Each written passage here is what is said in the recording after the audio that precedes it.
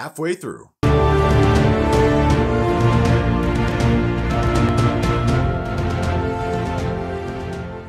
Hey guys, it's Chief from the EF Word here to review episodes 1 to 4 of Safe, a British, French, American crime drama from the author Harlan Coben. It is a co-production with Canal Plus and Netflix, so not a Netflix original in its truest form. Stars Michael C. Hall, which you know from Dexter, Amanda Abbington, which you've probably seen in shows like Sherlock and other BBC dramas.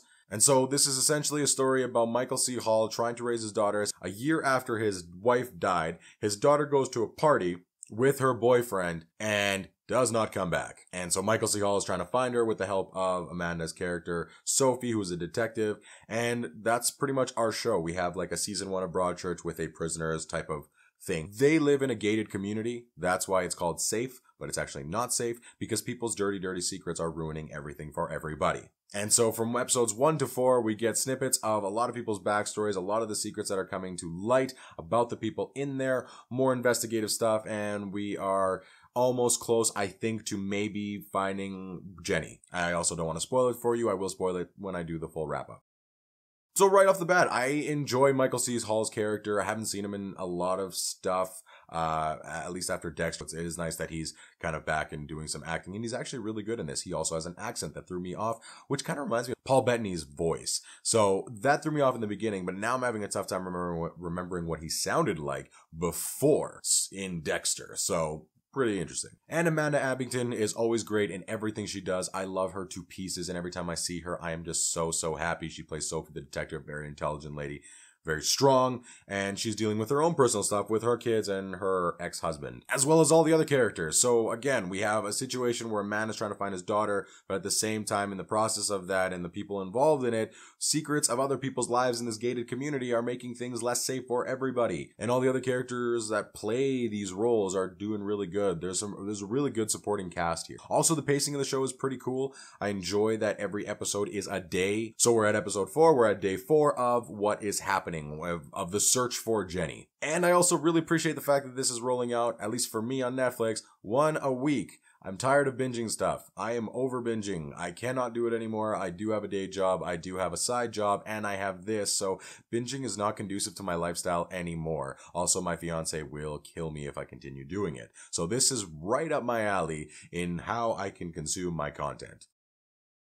Negatives. Up until now, um, I don't feel the actual weight of the situation. I mean, I'm presented a very harrowing and awful situation of a man losing his daughter.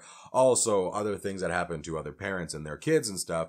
Don't get me wrong, that is heavy, heavy stuff. But as someone who's not a parent who cannot inherently feel or get that, it's having a tough time getting that across to me in this show. It almost seems too light for what's going on. Prisoners, however, destroyed me. Again, not a parent, but Hugh Jackman in that I felt everything. I felt depressed. I felt gutted. I felt everything you can possibly feel from a, a parent losing his daughter. And so that would probably be my biggest criticism.